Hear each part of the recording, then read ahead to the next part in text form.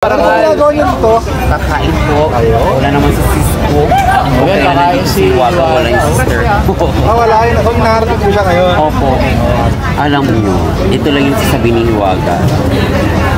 Huwag natin pansinin ano, kung ano man ang naririnig natin. Ang alam natin, sa sarili natin, maayos tayo na nagtatrabaho, mahal tayo ng tao, at respeto tayo ng tao. Yun lamang, magmahalan, supportahan sabi nga sa, sa Bible, sabi ng ni Lord, magmahalan, magrespetuhan, magtulungan, magkaisa. Walang away. Dapat love, love, love. Thank you. Sige po, sige po.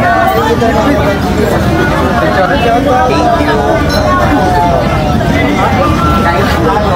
Ah, pagkain mo na lang. Hindi pa kumakain.